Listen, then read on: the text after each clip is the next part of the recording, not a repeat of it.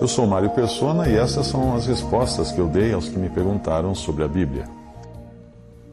Você perguntou se nós nos congregamos ou estamos congregados como na igreja primitiva, a igreja do, do primeiro século. Bom, isso depende de que aspecto você fala. As reuniões da assembleia ou igreja numa localidade, elas seguem a mesma ordem ou atividades das reuniões dos primeiros cristãos em Atos, que perseveravam na doutrina dos apóstolos e na comunhão, no partir do pão e nas orações. Você encontra isso em Atos 2. Eu entendo, portanto, que existem três tipos básicos de reuniões que podem ou não acontecer no mesmo dia. Doutrina, doutrina e comunhão dos apóstolos, que é o ministério da palavra, partir do pão, que é a ceia do Senhor, aos domingos, ao primeiro dia da semana, e orações. Era assim que os primeiros cristãos faziam. Mas é sempre bom lembrar que nós já não estamos nos dias de Atos, portanto, não espere grandes coisas como o chão tremer quando nós nos reunirmos para orar. E nem acredite ser hoje possível dividir suas posses com os irmãos como faziam os primeiros cristãos, porque hoje você precisaria dividi-las com todos os irmãos da igreja que está na sua cidade, ou seja, todos os cristãos na sua cidade. E a igreja que está em sua cidade é, biblicamente falando, composta por todos os crentes que vivem aí. Quando você lê os livros de Esdras e Neemias, você percebe que as coisas são muito pequenas em relação ao que tinham sido no passado. Até mesmo o templo reconstruído era uma triste maquete se comparado ao original. Por isso, enquanto os jovens se alegravam, os velhos choravam, porque eles tinham conhecido o templo anterior. Uh, não espere, portanto, grandes coisas neste tempo hoje de igual ruína no testemunho cristão. Às vezes você percebe nas reuniões longos períodos de silêncio dos irmãos, mas eu creio que existe no silêncio uma expressão de dependência, de esperar que o Senhor indique quem deve falar e o que falar, ou quem deve orar, ou quem deve sugerir um hino. Mas não espere alguém afirmar que escutou Deus trovejando do céu, ou o Espírito Santo sussurrando no seu ouvido para poder escolher o hino, que hino uh, sugeriu, que passagem da Bíblia ler. Não. Quando nós falamos da direção do Espírito na reunião da Assembleia, não, nós não estamos falando de alguma espécie de experiência mística, pentecostal, renovada, como você vê por aí, pessoas se arvorando no, no, direito de dizer que está sendo agora canal de comunicação do Espírito, vem com aquelas coisas de, ah, eu, o Espírito, vos digo que, tá, tá, tá. Não, nada disso, por favor, nada disso. Uh, quando nós buscamos na palavra de Deus, nós encontramos que os discípulos do Senhor também cantavam hinos os próprios salmos eram hinos, e na época deviam, eles também deviam ler o Antigo Testamento ou falar passagens de memória nas suas reuniões, além de lerem as cartas dos apóstolos, como nós vemos o próprio Paulo estimulando tal prática em Colossenses 4,16. Havia também profetas no início da igreja, porque eles ainda não tinham o Novo Testamento. Portanto, esses profetas, sim, falavam da parte de Deus. Hoje nós não temos esse tipo de revelação espontânea por isso nós dependemos da palavra escrita de Deus, porque nós a temos completa, agora a revelação está completa. E mesmo quando nós lemos ou comentamos algo, é bom que isso seja feito em reverência. Se a minha forma de expressar reverência for esperar alguns minutos antes de abrir a boca, então eu não creio que seja algo ruim. Embora muitas pessoas que venham às reuniões pela primeira vez fiquem até intrigadas com aquele silêncio que acontece entre um irmão falar e o outro falar porque não existe um líder, não, existe um pastor dirigindo, não existe um homem à frente, mas nós estamos ali em dependência do Espírito Santo. O fato de se usar um inário específico é uma decisão da Assembleia Local. Nos países de língua inglesa, os irmãos usam um inário chamado Hymns for the Little Flock, ou hinos para o pequeno rebanho. Nos de língua espanhola, usam um inário chamado, chamado Mensajes del Amor de Dios, que é o Mensagens do Amor de Deus. Em outros países, outros inários ou compilações próprias de hinos selecionados como apropriados. Não existe uma sede central, um ministério central, uma casa publicadora oficial que publique o inário que todos devam utilizar.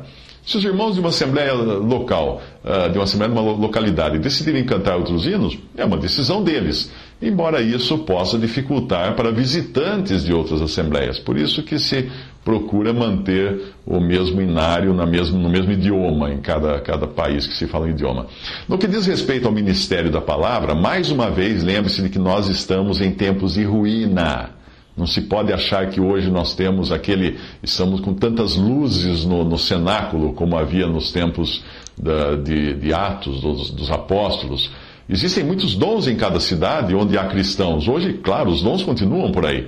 Mas o problema é que eles estão espalhados nas diferentes denominações. Por isso, em qualquer assembleia reunida somente ao nome do Senhor, você encontrará uma carência, sim. Porque Deus não distribui os dons de acordo com cada grupo de cristãos.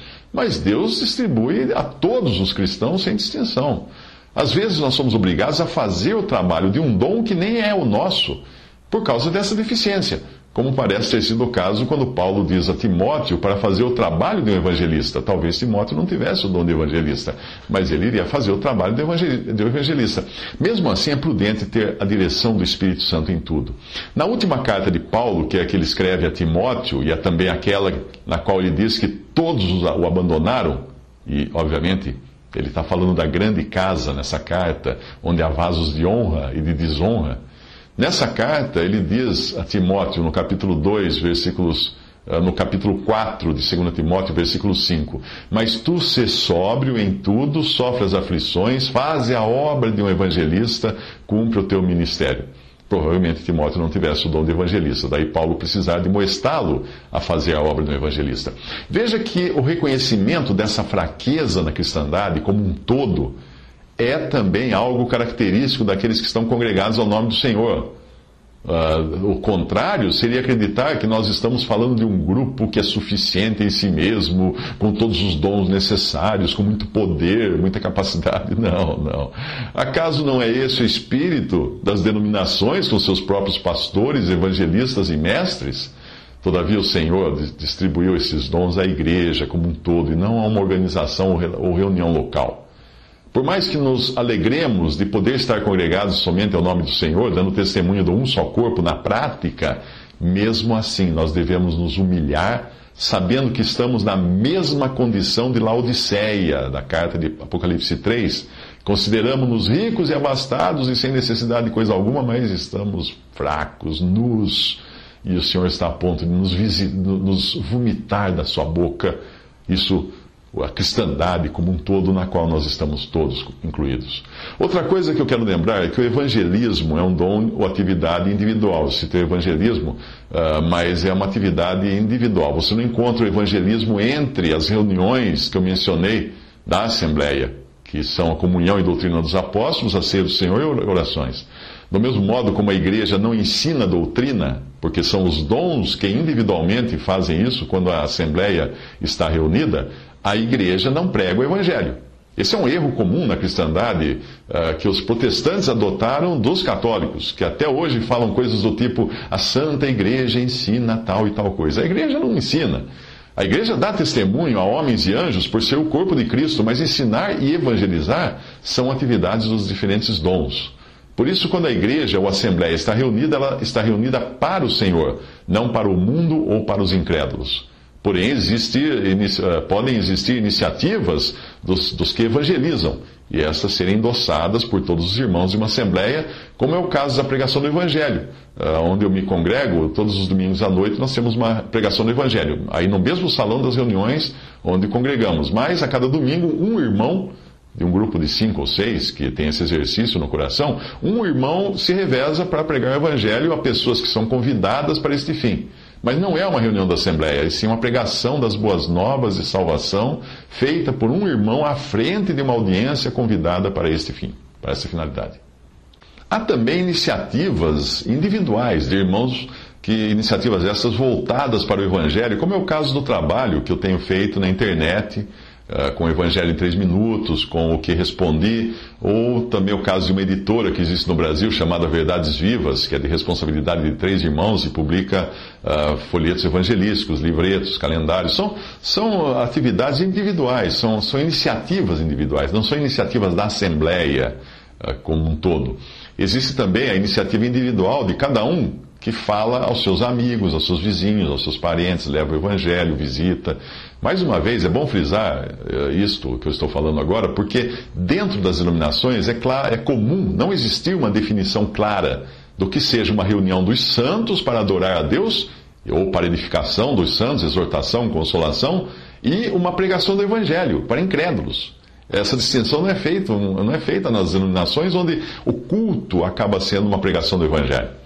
Ah, é comum nesses lugares todas as reuniões, indistintamente, terminarem com algum tipo de apelo para as pessoas se converterem. Ah, deve, deve existir também uma distinção clara entre uma reunião da Assembleia, que tem um caráter solene, e uma reunião mais informal, por exemplo, quando uma família, um grupo de irmãos se reúne para ler a Bíblia, orar, cantar hinos, conversar, etc. Uma reunião da igreja ou assembleia é um momento solene, onde dois ou três são reunidos pelo Espírito para o nome do Senhor Jesus. Não se trata de um encontro casual entre irmãos, como um bate-papo ou uma festa de aniversário. Não. Também não é uma reunião de negócios, mas é uma reunião que tem por objetivo partir o pão, aprender a doutrina, dos apóstolos e a comunhão uh, dos apóstolos, orar, reconhecendo sempre a presença real do Senhor no meio. É neste caráter de reunião que se aplicam algumas ordens, por exemplo, uh, de que falem os profetas dois ou três, os outros julguem. Mas se a outro que estiver sentado for revelado alguma coisa, cale-se o primeiro, porque todos podereis profetizar, cada um por sua vez, para que todos aprendam e todos sejam consolados, pois os espíritos dos profetas estão sujeitos aos profetas, porque Deus não é Deus de confusão, mas sim de paz. Como em todas as igrejas dos santos, as mulheres estejam caladas nas igrejas, nas reuniões da Assembleia, porque lhes não é permitido falar. Tudo isso está em 1 Coríntios 14, você vai encontrar lá na Bíblia. No atual estado de ruína e degradação em que está a cristandade, é provável que a maioria das assembleias que você encontrar por aí estejam reunidas literalmente com dois ou três irmãos apenas. Existem casos em que uma assembleia se congrega com apenas um irmão, varão, porque os outros morreram ou abandonaram o lugar. Uh, aí as reuniões de, assembleia não incluirão o ministério da palavra e tampouco aquela Assembleia terá poder de deliberar ou julgar. É, quando o assunto é o julgamento, os dois ou três, em Mateus 18, 18 20, nos fala de dois ou três varões, uma vez que a passagem está falando da tomada de decisões, de ligar e desligar, o que deve ser feito por varões, que são cabeças, no caso. Assim, uma assembleia normal, por assim dizer, uh, isto é, funcional em todos os seus aspectos, precisa ter dois ou três irmãos, varões, uh, reunidos, porque caberá, caberá a eles julgarem as questões de doutrina durante o ministério das reuniões e o recebimento também. Eles que vão julgar se deve receber ou não pessoas à comunhão à mesa do Senhor. Digamos que os irmãos de uma assembleia morram ou se afastem, ficando apenas irmãs. Eles poderão continuar se reunindo para partir o pão, quando uh, visitada, essas irmãs poderão ser visitadas por outros irmãos, e aí sim elas partirão o pão uh, se o senhor as dirigir a isso. O correto é que busquem auxílio de, dos irmãos de uma assembleia próxima. Mas elas não poderão se reunir como assembleia naquilo que envolver julgamento e ministério da palavra, ou seja, não poderão receber pessoas à comunhão à mesa do Senhor, ou colocar em disciplina algum, algum, alguma irmã daquelas em pecado. Para isso, elas vão buscar auxílio de varões de outra assembleia. O mesmo se aplica ao ministério da palavra. Em 1 Coríntios 14 diz: falem dois, dois ou três e os outros julguem quando se refere a irmãos que ministram. Uma assembleia formada apenas por irmãs não poderá exercer esse tipo de ministério, porque elas estariam desobedecendo a ordem das mulheres ficarem caladas nas assembleias ou reuniões da igreja. É claro que elas poderiam se reunir para, informalmente para estudar, para ler a palavra juntos, estudar a Bíblia, cantar hinos, orar, sem qualquer problema isso. Mas não é uma, uma reunião no caráter de assembleia, percebe? Além disso, não haveria um irmão para julgar o que elas falassem como deve haver numa reunião da Assembleia. Então elas podem se reunir não no caráter de uma Assembleia, mas no caráter de uma reunião informal de irmãs que têm o desejo de orar e estudar a palavra de Deus. Uma Assembleia onde tenha restado apenas um irmão varão também não poderá adotar ações que envolvam julgamento, porque é preciso dois ou três para julgar, julgar as coisas. Portanto, não poderá receber ou excluir pessoas da comunhão. Para isso, o único irmão do local deve buscar auxílio de irmãos de outra assembleia próxima uh, para tomar essas decisões. Uh, eu não me lembro se existe alguma coisa no Novo Testamento sobre essa questão da proximidade da assembleia, quando eu falo buscar auxílio de uma assembleia próxima. Mas em Números capítulo 35, existe um princípio que nós podemos aplicar, que é o das seis cidades de refúgio. Alguém que pudesse ser alcançado pelo vingador do sangue por ter morto alguém por acidente, podia correr para a cidade de refúgio mais próxima e não ser morto. A divisão das cidades naquela época era de tal modo que qualquer pessoa em qualquer lugar de Israel poderia alcançar uma cidade de refúgio no mesmo dia, sem, sem uh, ser alcançado pelo vingador do sangue, como era dito na passagem. Mas é um princípio, nós usamos o princípio, não existe um mandamento disso no Novo Testamento. Uh, pela mesma razão, as reuniões de leitura, estudo ou ministério de uma assembleia, assim, sem o número suficiente de varões, não podem ser consideradas reuniões no caráter formal de uma assembleia, uma vez que não há quem julgue o que o irmão falar. Ele e as irmãs que participarem estarão reunidos num caráter informal, como acontece, por exemplo, quando uma família se reúne para ler a Bíblia, ou quando, como acontece numa reunião da escola dominical, quando o irmão ensina aos jovens a palavra de Deus, podendo ele, inclusive, responder perguntas de irmãs nessas ocasiões, por não estarem reunidos em assembleia, as irmãs não estão impedidas de fazer perguntas, de falar. Portanto, quando você perguntou uh, como seriam as reuniões que vocês têm feito aí na, na casa de vocês, antes ainda de serem recebidos à mesa do Senhor e começarem a partir o pão como uma assembleia local, é este o caráter, é o caráter de uma reunião informal, de uma família para ler a palavra de Deus, cantar hinos, orar, etc. Nesse caso, não existe a necessidade de se aguardar pela direção do Espírito, como nós fazemos uma reunião. É claro que você não vai fazer na carne, mas uh, você não precisa disso para sugerir um hino, uma, fazer uma oração, porque são coisas que nós fazemos na presença do Senhor, numa reunião da Assembleia. E é importante entender que existe essa distinção. Numa reunião assim, dessa na sua casa, não há nenhum problema se os irmãos desejarem fazer leitura de livros, ah, leitura de comentários de outros irmãos, ou até mesmo acessar a internet para pesquisar alguma coisa, algum assunto, coisas que não caberiam quando a Assembleia estivesse reunida ao nome do Senhor, tendo apenas a palavra de Deus e a direção do Espírito como recursos. Ah, eu vejo que às vezes nós erramos quando queremos dar a uma reunião informal entre irmãos um caráter de solenidade que a torne parecida com uma reunião da Assembleia. E isso causa confusão na cabeça de alguns. É claro que deve existir sempre reverência quando nós estamos juntos para ler a palavra de Deus, para cantar hinos, para orar, mas é, é preciso entender o caráter distinto das reuniões. Uh, existe sempre o perigo de se adotar um ritual.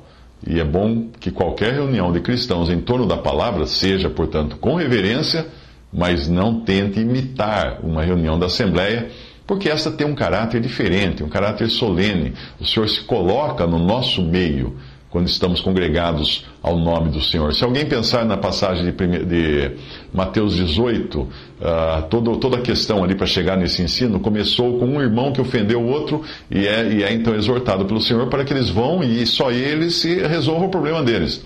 Mas daí, quando esse outro, que o ofensor, não, não quer resolver a coisa, aí o irmão ofendido pode levar dois, um ou mais irmãos, né, um ou dois irmãos, para juntos com esse irmão uh, que ofendeu, tratarem da questão.